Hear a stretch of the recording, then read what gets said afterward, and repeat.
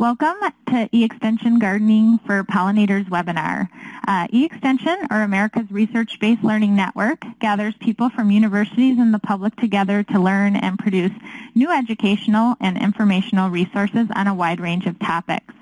This webinar is brought to you by the National Extension Master Gardener social media team, uh, which is a group of extension professionals and master gardeners from across the United States who engage the public in research-based gardening topics. Today's webinar topic is gardening for pollinators, so we're excited to have registrants from all um, over 28 states to attend this webinar. While many of the pollinators and pollinator plants may vary between all of your states, many basics of gardening for pollinators are the same, and supporting the diversity of pollinators is a national and international issue we can support together. So it won't be long until we can celebrate National Pollinator Week, June 17th through 24th. And in preparation for that, um, we'd like to um, help make you aware of the events going on um, and enable you to support gardeners, um, uh, help garden for with pollinators every day. So I'm going to turn it over to um, our presenter. Um, her name is Denise Ellsworth, and she's the Program Director for Honeybee and Native Pollinator Education at the Department of Entomology at the Ohio State University. So today she's here to help us learn more about pollinators and what we can do to support them. So welcome, Denise, and I'll, I'll turn it over to you. Okay, great. Thanks, Karen. Thanks for the introduction, and welcome everyone who's joined us virtually in this room. It's uh, it's nice to imagine this room full of gardeners from all across the country with all of your different plants and all of your different pollinators, but coming together to see how we can collectively kind of create this patchwork of habitat and conservation for pollinators. I enjoyed seeing the list of plants that you entered when you registered for today's webinar and, you know, the diversity of, of environments that we garden. So a lot of your plants I can't grow, maybe some of my plants you can't grow, but it was really interesting to see the different bees and other pollinators that are attracted to all of our gardens. As Karen said, I am in the Department of Entomology here at Ohio State University, and I coordinate honeybee and native pollinator educational programs with OSU Extension. Before I came to the department, I was a county extension educator in Northeast Ohio for actually about 20 years. And my background is commercial and consumer horticulture. I coordinated the Master Gardener program, a lot of educational outreach for professionals and consumers in horticulture. So I really come uh, kind of at this topic as a plants person, but also with a real interest and love in particularly insects. Uh, my background is plant pathology and environmental education, and I worked in the county with integrated pest management and um, helping gardeners be ecologically sound in their gardening practices. When I moved over about a year ago to the department, uh, one of the projects that I was really eager to begin on was developing some educational resources for master gardeners and county extension educators to be able to use to teach groups about pollination. So I got together with Regina Hirsch, who's at the University of Wisconsin-Madison, and Jennifer Hopwood, who's with the Xerces Society. And um, they had great resources, great PowerPoints already put together with Xerces and using their expertise, we came together and developed three educational modules, developed a, a course site that we'll talk about uh, towards the end of our webinar on eExtension. So all of the PowerPoint slides that you're going to see today are available to you to pull down and kind of adapt to your own audiences, as well as a lot of resources that we tried to gather all in one place. We received some uh, grant money from the Integrated Pest Management Working Group in the North Central region, and through that effort, we then developed these Power Pollinators materials. So that's just a little bit about who I am and how, how I got here. We were lucky, actually, that um, Xerces was just so generous about sharing their resources and their photography. So many of the slides that we're going to see come to us because of, pollen, uh, because of photographers who donated their work to uh, Xerces. So let's look at kind of an overview of where we're going today. We're going to talk about who pollinators are, what they do, why we care, and how, what gardeners can do. And all of us can do something. We probably already are doing a lot to create habitat, to conserve pollinators. We're going to talk about some garden design elements that, uh, as Karen said, really cut across whatever region we're in that can help pollinators. And then we'll talk about those materials and how you can help us to spread the word about pollinators. For many of those slides, we're going to go fairly quickly just because I, I wish we had really a half-day workshop in person where we could see each other and interact with each other and really learn from each other's experience. Uh, but we only have about 50 minutes in a virtual room. So for some of the, the um, design elements, we'll go through them fairly quickly. So you've probably heard this before, that one in every three bites of food and drink that we take comes to us because of pollinators. This is kind of an estimate. You know, scientists kind of sat down and, and put together this estimate of how much of our food can we thank pollinators for. Um, now, when you hear people talk about this, sometimes they'll say that honeybees or that it's bees, but really if you kind of trace this back, it seems to be more in line with all kinds of animal pollinators. So we're going to look at who some of those different animal pollinators are. But, um, but really we're going to start with that focus on why, why should people care about pollination? I mean, we all eat, uh, we drink coffee. Some of that coffee depends on pollination. If you're um, a chocolate fan like I do, chocolate comes to us because of pollination. So many of the foods that really add richness and nutrition to our diet come to, come to us because of pollinators. So Cornell University did a study last year on the, the dollar value. You know, a lot of people want to know what's it worth to me, or if I'm going to give some research dollars to support pollinators, what's, what's the value of that? Put a dollar figure on that. So Cornell estimated that about $29 billion of pollination services come to us because of insect pollinators. So those are all the, the bees and flies and moths and butterflies that come together to, to pollinate crops. Those are directly pollinated crops like alfalfa, apples, almonds, and berries that rely directly on a pollinator to transfer pollen from flower to flower. And then some of those crops that are indirectly dependent on pollinators. So they may self-pollinate themselves like soybeans, but their yield is enhanced if they have insect pollinators. So 29 billion, and that's just North America. That's not looking, uh, you know, globally at the value of pollinators. But more than just our agricultural inputs, pollinators are really key, and they're called as keystone species to the environment. And, and that's because about 85% of all flowering plants depend on insect pollinators to take that pollen from plant to plant. And without those, those insects, then that key of providing food and that whole ecological benefit wouldn't happen. Now, a lot of plants are specific to the pollinators that they need, um, like this bottle gentian that needs a strong bee like a bumblebee to pry open those petals uh, to pollinate. But other plants like this Virginia bluebell are more generalist in their needs. So they depend on a lot of different wild pollinators that come and visit and transfer that pollen from flower to flower. So native plants need native pollinators. These are relationships that have developed over eons, and um, they're really key to the health of our environment.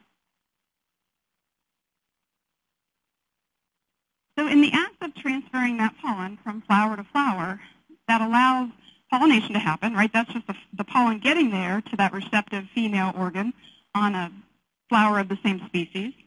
But then that pollen has to germinate on the female pistil and grow down into the ovary, and the male gamete has to meet the female gamete for that fertilization to happen. That enables seed production, that enables fruit production, and think about all the animals then that depend on those seeds, on that fruit, for part of their diet. So all the birds and mammals, large and small, that depend upon that work of pollinators in the environment. Also think about those millions of pollinators out there and how they themselves are food for somebody else. So those bees and those butterflies, somebody's having them for lunch, and so they're a real, a real key to keeping that food web rich. So let's talk about who the pollinators are. And probably for a lot of the groups that many of us work with who may not be as familiar about pollinators and the value of pollinators, they probably think of the honeybee first. So the honeybee down in the bottom right of your slide, you know, the, the kind of the icon of, of pollinators. But there are a lot of different animals that serve in that role as pollinators, from hummingbirds to other kinds of birds, small mammals, bats certainly, not in Ohio, we don't have pollinating bats, but in many of the places that you're all from, you may have bats that serve as pollinators. as well as insects. And across the globe, we have monkeys, we have lemurs, we have um, different kinds of lizards that serve as pollinators. So there's really a rich diversity of pollinators across the globe. Main group of pollinators are the insects. So whether we're talking about the flies or the wasps, beetles, moths, and butterflies, they're all serving that role of visiting flowers and transferring pollen from plant to plant. But the key pollinator, as we know, are the bees. And let's talk about a few of the reasons why bees are so important as pollinators. Bees are vegetarians, so they rely on pollen and nectar for their diet.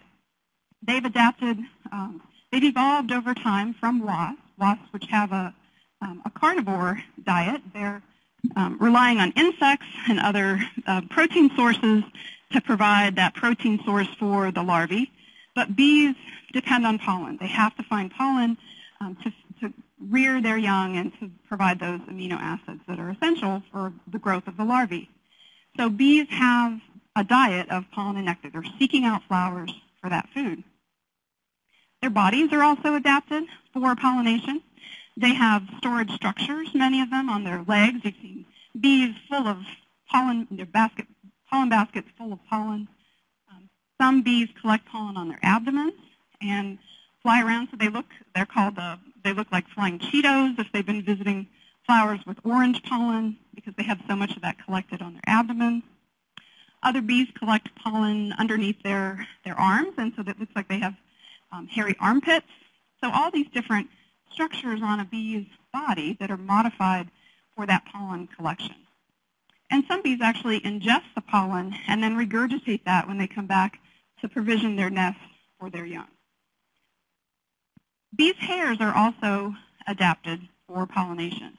Now, if we, these are uh, electron micrographs of a bee's hair, and you can see how those hairs are branched, and then those globules on the end are, are pollen. Pollen is attracted to those branched hairs.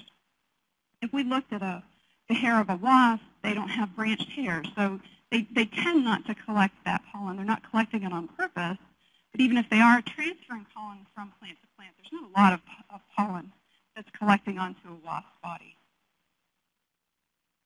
Another piece of this element of why bees are so important is the behavior called flower constancy or flower fidelity. So this is the concept where bees, especially social bees, are visiting all members of one species of flower while they're collecting their pollen and nectar before moving on to another species. So from a plant's perspective, this makes them really successful as pollinators because they're going to visit all the sunflowers in your garden before moving on to, say, the zinnias or to the marigolds. And so that enables that, that flower, to, that plant, to have a better chance of being pollinated because the right pollen is being taken to the right flower.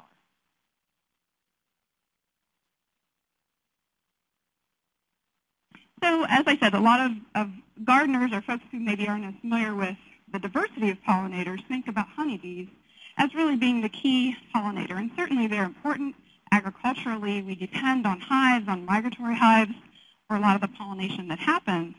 Um, but recent studies have shown how important those wild pollinators are as well, and that working in concert, the honeybees and the wild pollinators are really completing the job of crop pollination and, and native plant pollination.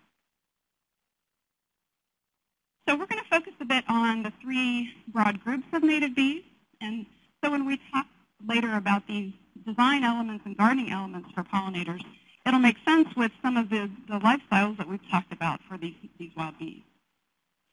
So we'll talk about the bumblebees, which are our most obvious group of social native bees. Of course, honeybees are also uh, social bees, but they're not native to North America. They were brought over in the 1600s with early settlers. So we'll focus on bumblebees and as an example of the social bee.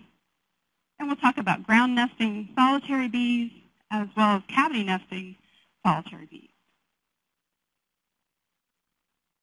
So let's start with bumblebees, and I know lots of you have seen bumblebees out in your garden this spring. I had an email from a friend of mine way back in, in March here in Ohio, which was pretty, pretty chilly. It was about a 42 degree day. And she sent me a picture of bumblebees out in her crocus flowers. So bumblebees are really amazing pollinators because they are able to generate their own heat by vibrating their thoracic wings, I mean, their thoracic muscles. They can actually kind of unhinge their wings from their muscles and they vibrate those muscles to generate heat. So we often see bumblebees flying much earlier in the season than we see other bees just because they can generate their own heat.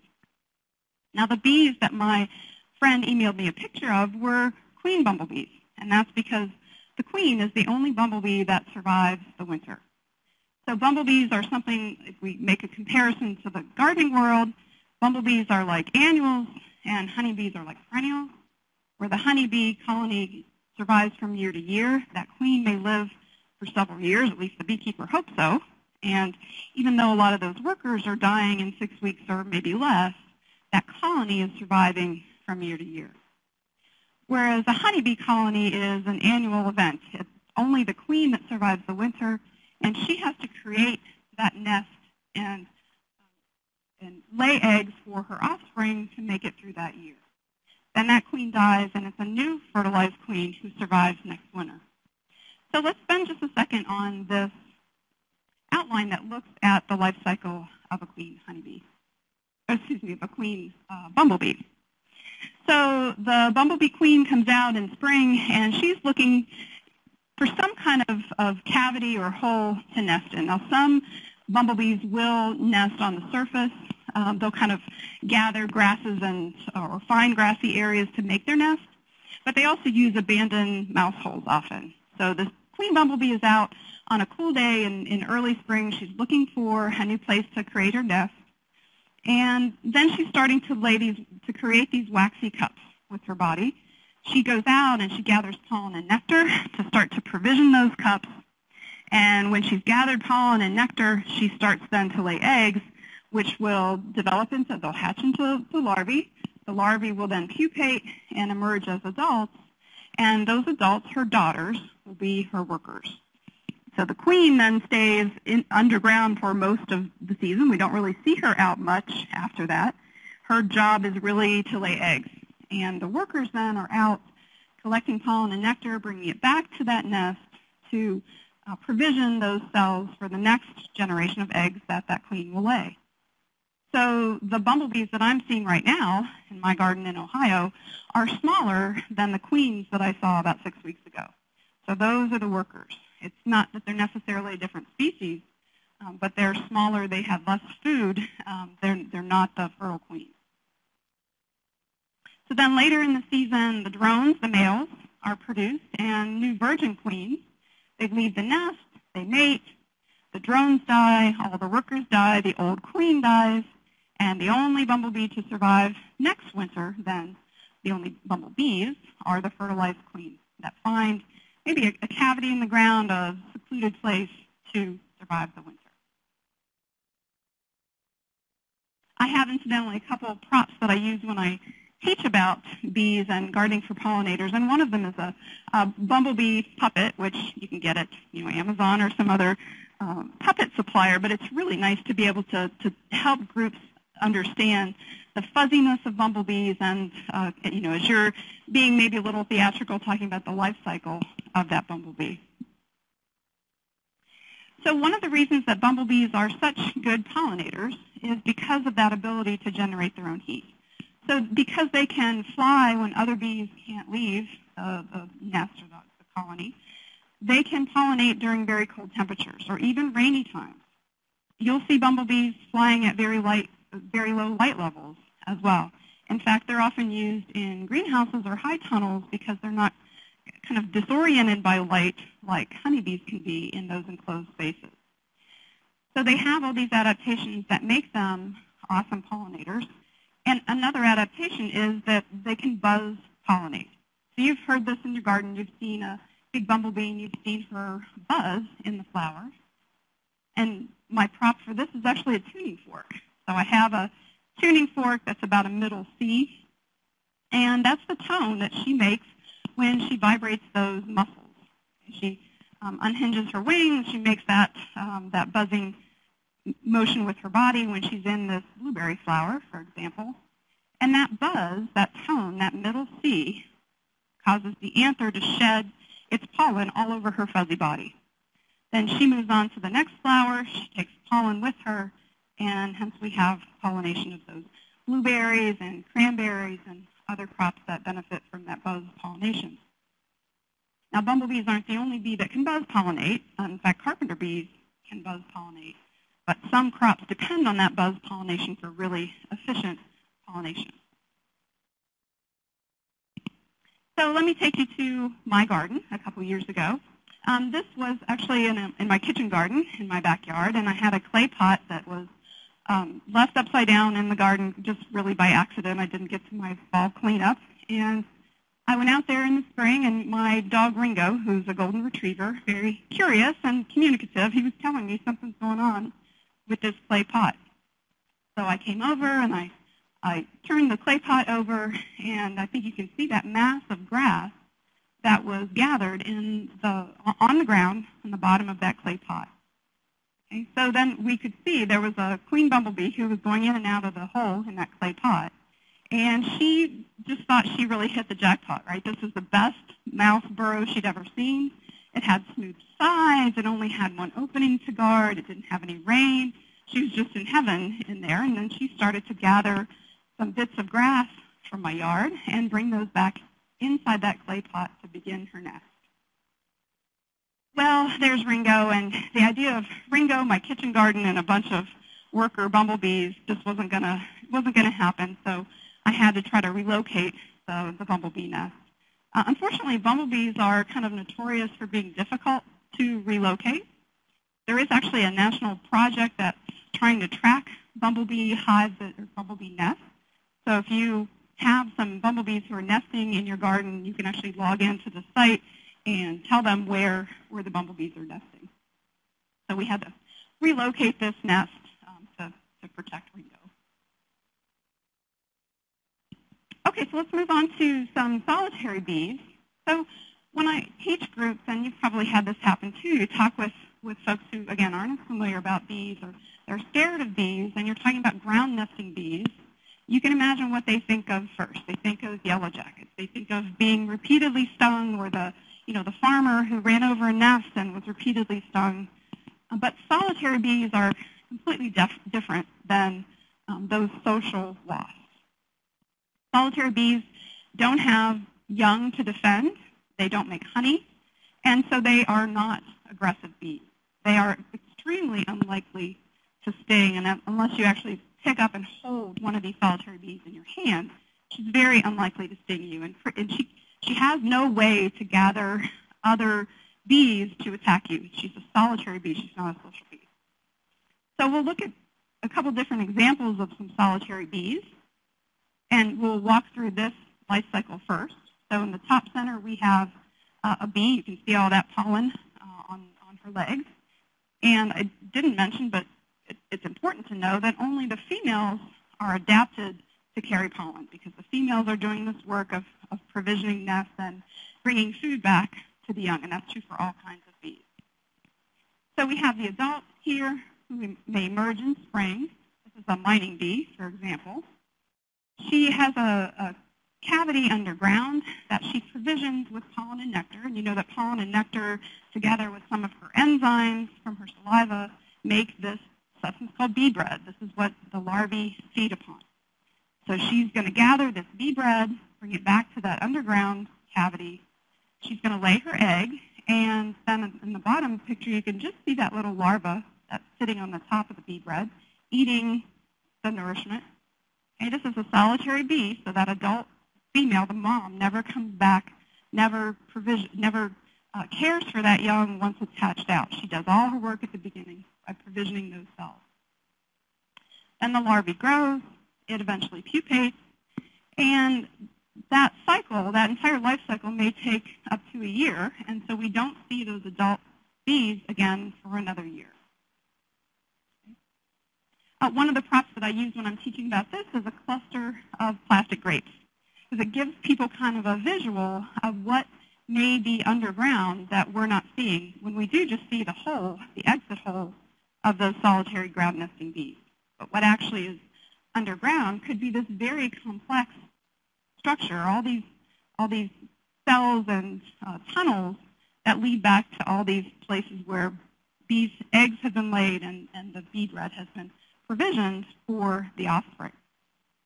And actually, some of these cells can be several feet deep and several feet wide, so it's really this awesome network that's happening underground. So now I'm going to take you to a botanical garden here in Ohio that I was visiting last spring. And um, if you're from the Midwest, you know we had a very fast spring last year. And we had very warm temperatures. But um, what you can see from this image are, you see all the little mounds of soil, which at first glance look like anthills. Um, this was under an oak tree, and you can see how early in the spring this was by the, the lack of shade there, right? There aren't leaves. They're just kind of those shade from the branches there. So very early in the spring, and all these mounds of soil. And so as we get closer, look in the middle of that mound of soil, and we can see that bee just poking her head out of that mound.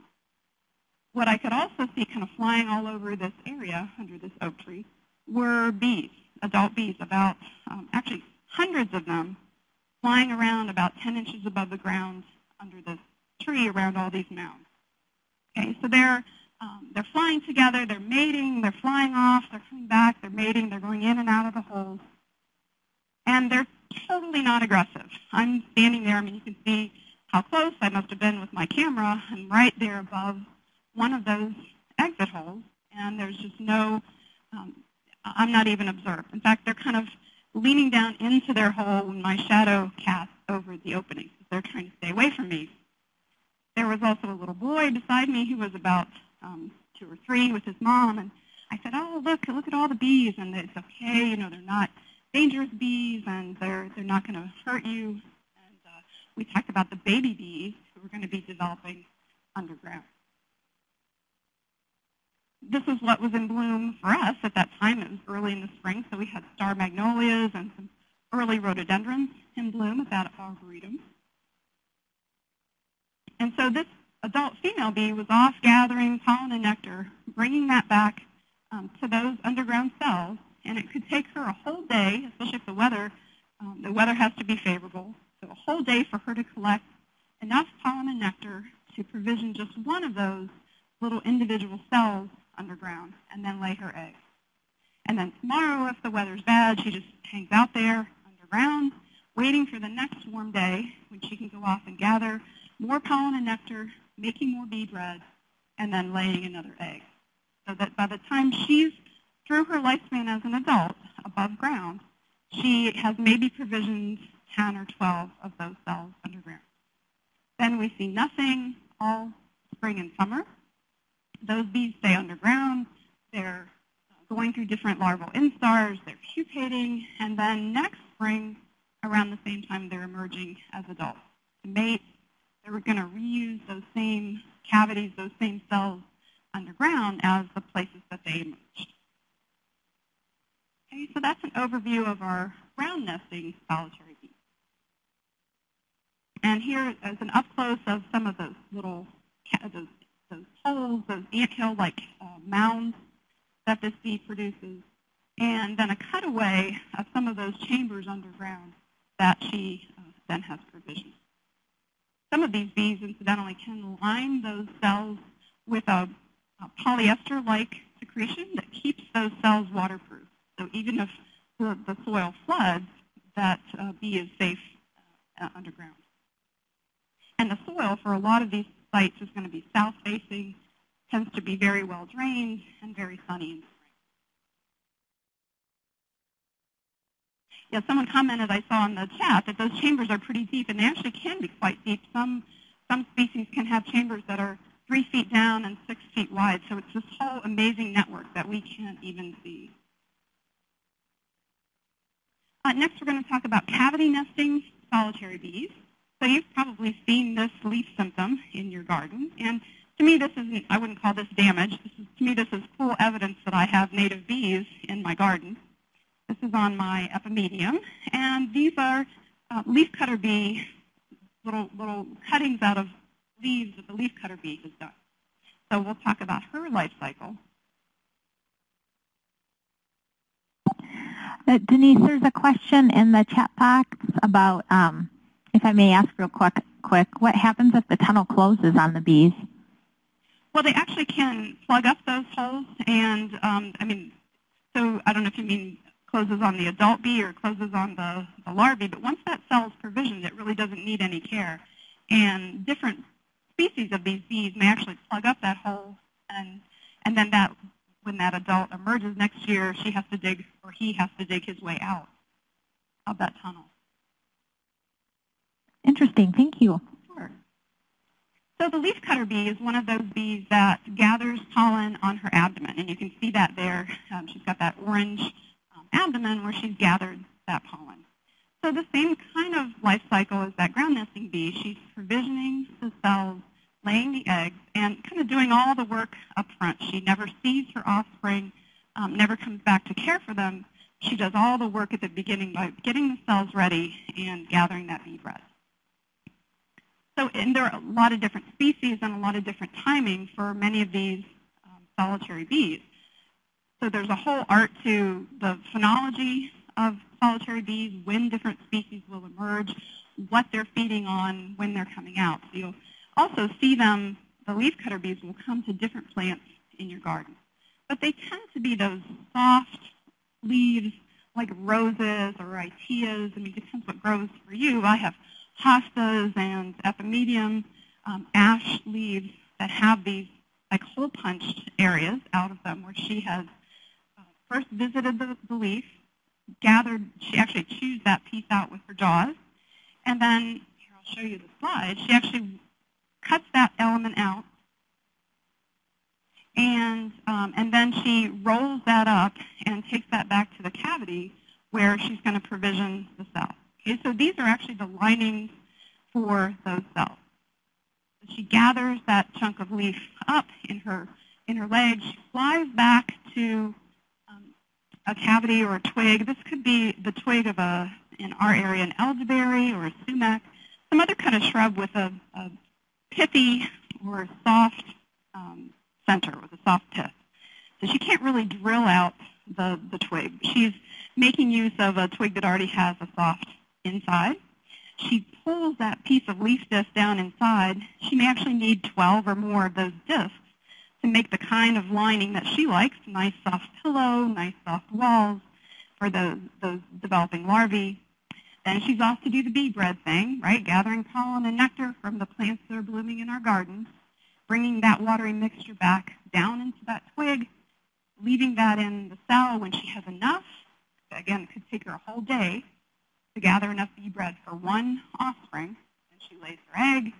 She may cap that cell with more discs of leaf, and then um, the next day she's off to do the same task again. So that, again, by the time she's done, she may have, um, here's an elderberry, just for an example, of the kind of twig that she may um, lay her, her eggs in. And by the time she's done, she may have lined up about 10 or 12 provisioned cells in that twig. You know, she can't break that twig off.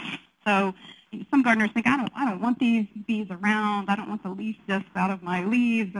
I don't want them, you know, damaging my twigs. But she's actually just taking advantage of a cut branch, a pruned branch. She can't actually break the branch off um, to dig into that twig.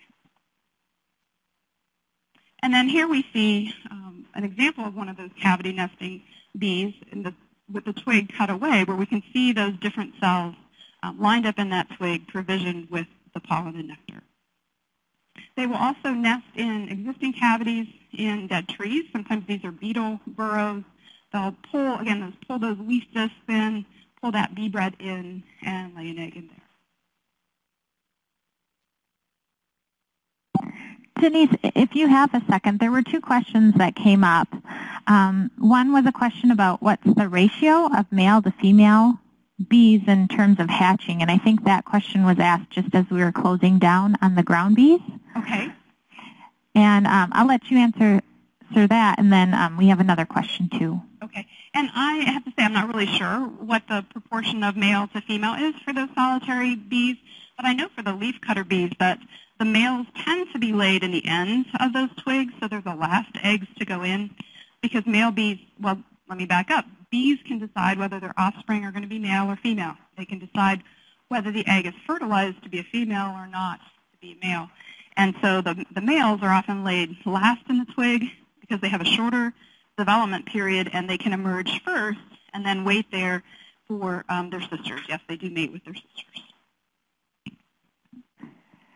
Thank you. Um, I think the other question was related to how do you, is there a page to know um, the difference between large and small bees? Is there a place that, maybe a place to identify the difference between these bees? Oh, sure. And actually, when we get to the piece about the e-extension site that has our materials, we've gathered a lot of resources from across uh, lots of websites, a lot of PDF documents that can help you wherever you are in the country. Uh, we have, for example, in Ohio, this great bee ID guide, and there are some for other states as well. So we've tried to pull those together uh, for folks to access.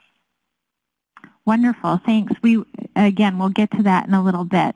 Um, I don't see any other um, I guess there's one other question. It says, how effective are native pollinator boxes if they are set out at the correct time of year, considering there is ample nectar and pollen around?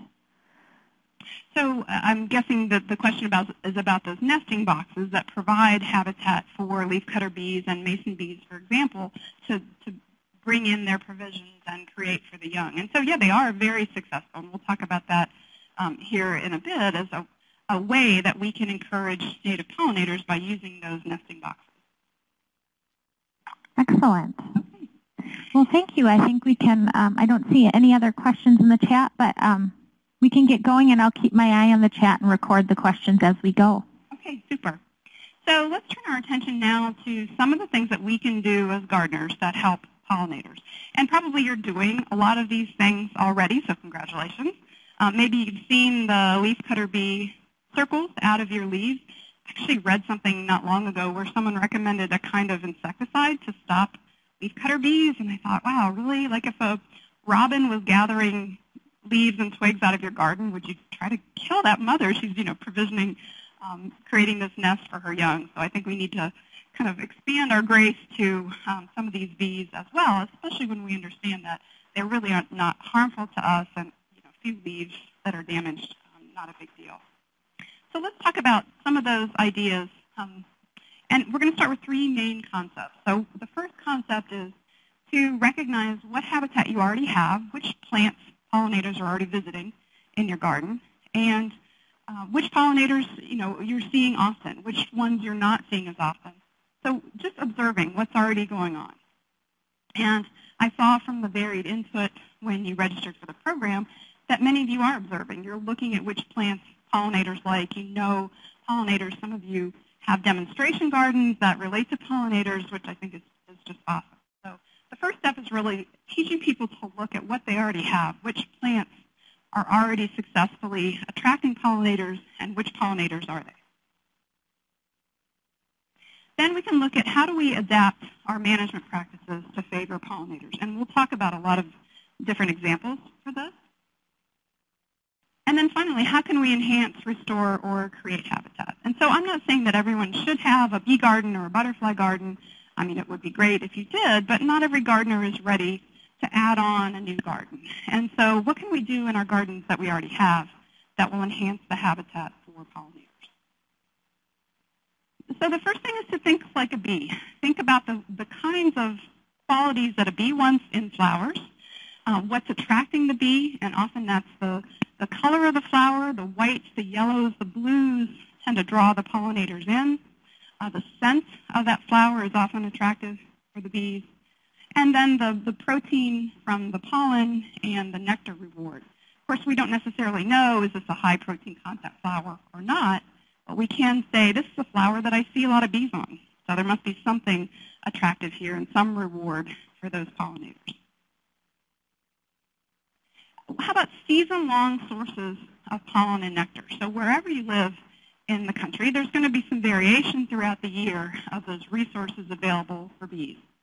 So for us here in Ohio, we're really thinking about what's an early season pollen and nectar source so that we're helping those honeybees that made it through the winter or those first bumblebee queens that emerged. We're helping to provide a pollen and nectar source for those early arrivals The next time is kind of middle of the summer when maybe there's not as much blooming. What can we add in that provides a good resource for pollinators? And then finally, those late season sources. What can we add that will be a good nectar source to help the bees to be really healthy and well fed to get them through the winter? So think about that year-round bloom, and how can you, you know, I encourage people when I talk about this is take a picture with your with your cell phone. A lot of people aren't into garden journaling or they don't want to take detailed records. Well, you probably have a, a camera on your cell phone, so take a picture of your garden every week throughout the summer and, or throughout the year, and then when it's cold in February, it is here in Ohio, look at those images and see where your gaps are and where can you add in some plants. This is a demonstration garden, a Master Gardener garden in Door County, Wisconsin. This beautiful garden and all the different flowers that they have. So think about at least three species of flowers in bloom in spring, summer, and fall. So I know for a Master Gardener this is like no challenge at all, but for you know a garden club that you're teaching or some new gardeners that you're working with, this this may be something you know that they may have to think creatively. What blooms in the spring, in the summer, and what do I plant in fall? Use masses of color to attract pollinators because, as I said, it's the color, it's the scent of that flower that's going to draw the pollinators there. And you can do this even in small gardens. You know, you mass your bee balm together, you mass your purple coneflower together. Because of that quality of flower constancy or flower fidelity, the bees are going to tend to want to work all those flowers of the same species at one time. So instead of having you know, one of your purple coneflowers in the front yard and one in the backyard and one in the side yard, you have them grouped together, and that helps the bee be more efficient as she's foraging. A diversity of flower shapes is going to attract a lot of different kinds of pollinators. So, you know, those daisy-shaped flowers with the landing pad for butterflies. They have shallow flowers for some of those pollinators with shallow tongues. So uh, just a diversity of different flower shapes, which, gosh, isn't that what gardeners like anyway? Think from a bee's eye perspective, how can you create corridors to create, create some safe areas for pollinators to travel through your garden? Whether those are butterflies or birds or bees, can you link some of your garden patches together to create more habitat? Put your habitat right in the garden or close to the garden. I know somebody when they registered said she's from a community garden and wanted to know about pollinators there. Why not have a row of flowers like this garden at the Cornell Plantations in Ithaca where they have vegetables and fruits in this great demonstration garden and they have the pollinating plants right there in the garden, the sunflowers, the zinnias, the um, purple coneflowers, they're right there in the garden. Focus on floral abundance and diversity. So the top right image, I won't go through all three of them, but the top right image is, is from the City Hall in downtown Chicago. Five stories up in the air, they have a green roof with all native plants, lots of things blooming. They keep bees on the roof. They have lots of, of birds and other pollinators that visit that site. And what you would think would be uh, a real urban desert. Use locally native plants to support more abundance and species-rich bee communities. So I'm not saying that you should plant only natives, but certainly we could all stand to plant a few more natives in our gardens, and there are so many garden-worthy natives.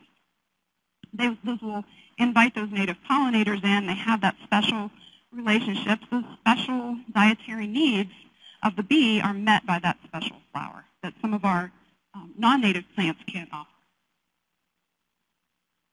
Plant more than just cultivars and hybrids.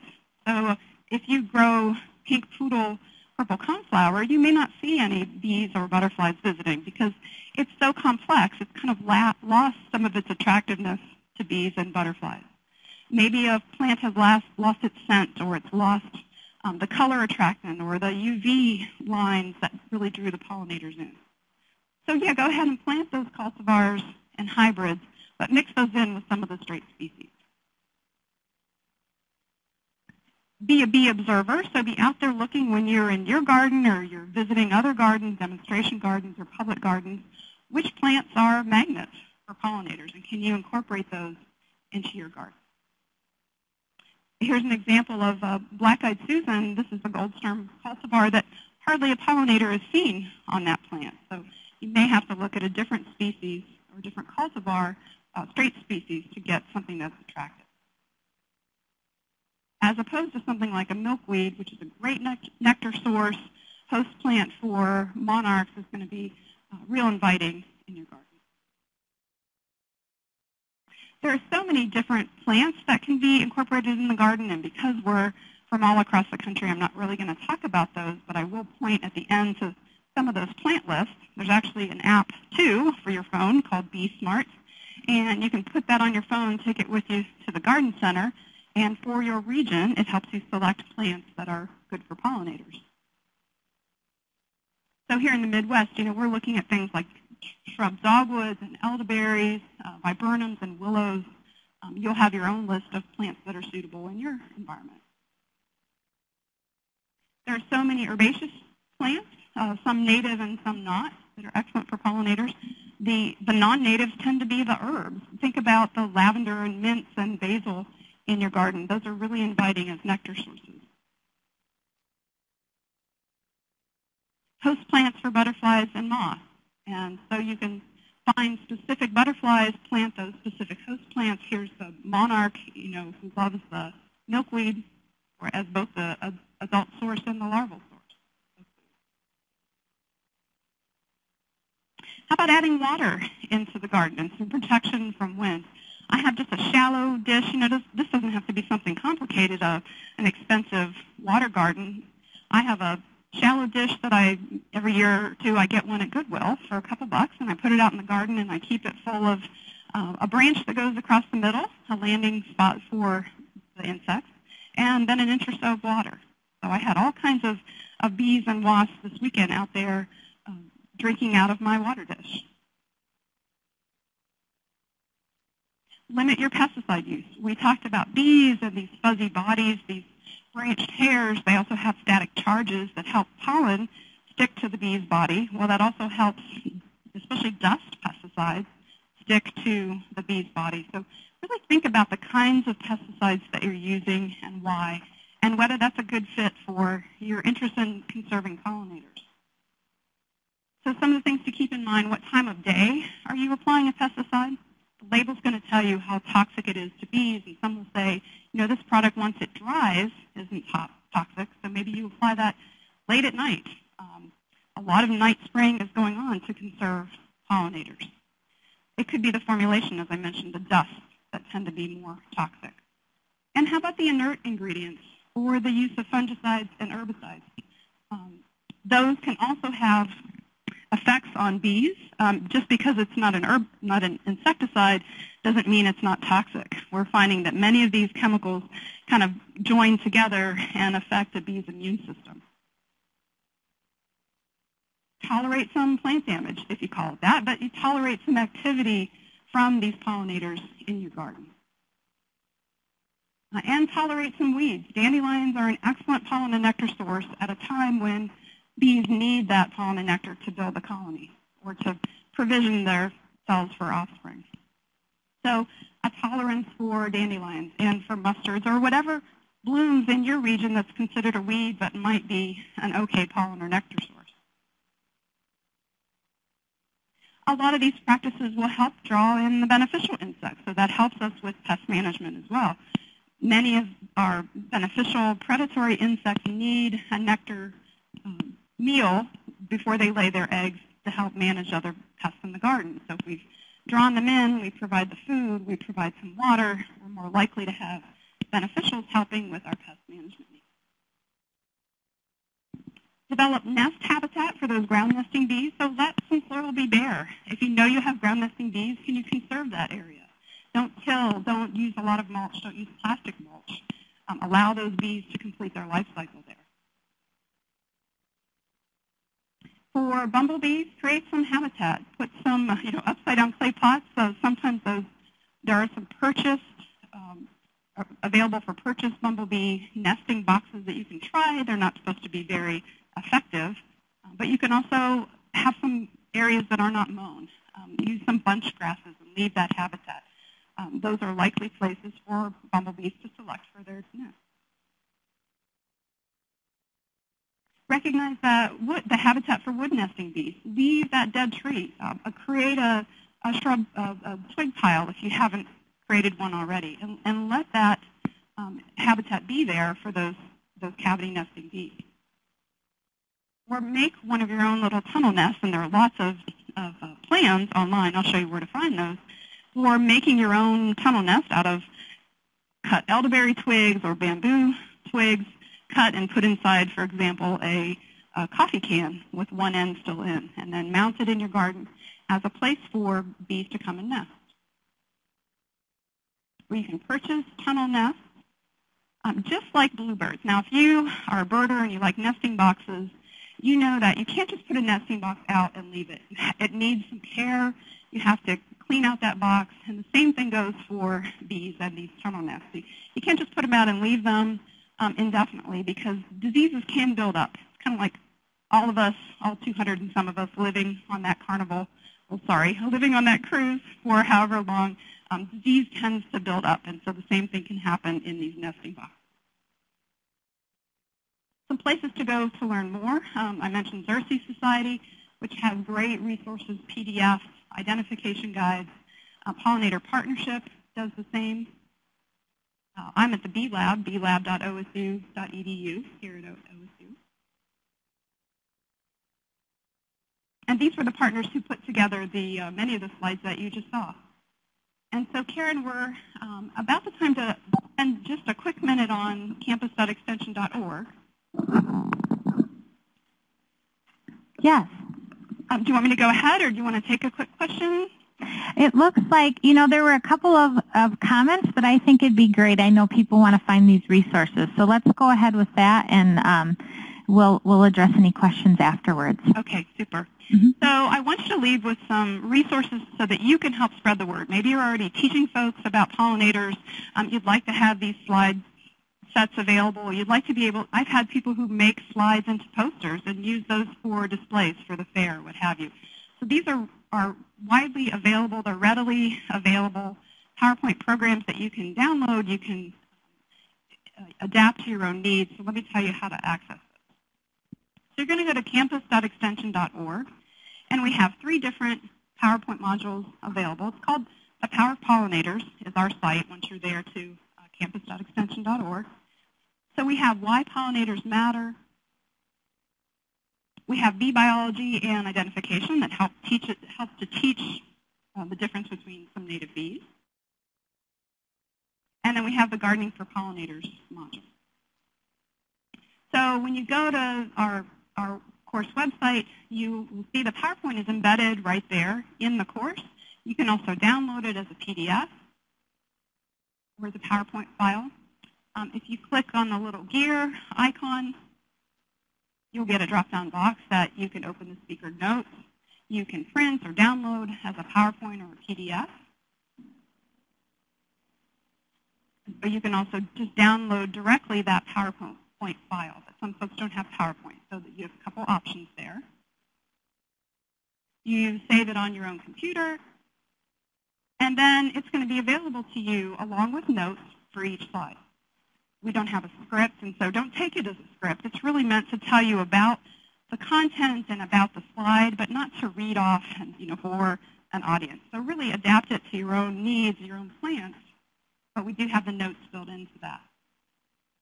You can create your own slides to kind of customize, take some slides in, put some slides out. And then we also have these links and resources. So someone was asking about bee identification links.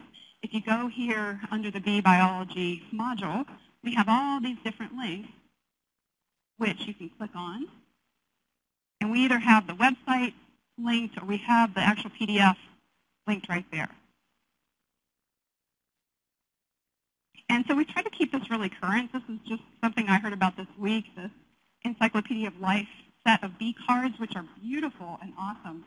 And I'm going to use some and print out for a museum interpretation that we have here on campus. And I've put that link then on this website. Um, you can also give us your feedback. So if you see some things that maybe need, need adjusting, we've identified something incorrectly, or you have some comments, you can offer your feedback uh, for us.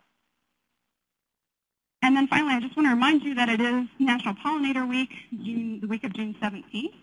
And you can go to the Pollinator Partnership website to list your event. Um, they're trying to gather a nationwide listing of all these great things happening for pollinators.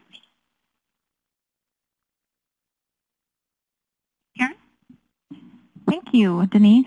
Um, I know those the resources look like fun to be able to take the PowerPoints and um, share them with other gardeners to, to promote National Pollinator Week. So um, I, I, put a chat pod link up in the chat pod. It's the bottom. It's the blog post um, where we tried to capture all the resources um, for this this webinar. So you can take a look and access them um, in that blog post. Hey, and to that um, at myblab.osu.edu site. I also have a uh, handout of today's PowerPoint, so if you want to print that out or just save it on your computer, you can look at that, as well as I'll, I'll post the, uh, the link to the recorded webinar as well.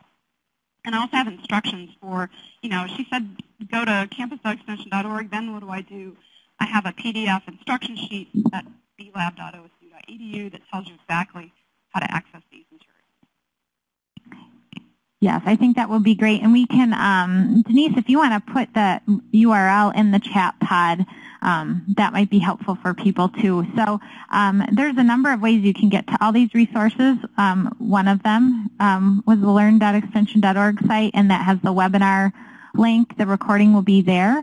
Um, and it also has a link to the blog post with these resources, or you can go to Denise's Bee Lab site, and she'll have some of these resources posted. So you'll you'll get to them from either you can get to them from many directions. Um, thank you so much, Denise. Um, we're at one hour now, and um, it was just a great, you inspired a great discussion in the chat pod today. We had a diversity of comments from across the United States, and I think we're all looking forward um, to probably supporting pollinators and talking about them um, on National Pollinator Week here coming up in a few weeks on the 17th. So, Thank you so much, too, to, to you for setting this up and for, for monitoring as we go. I appreciate that.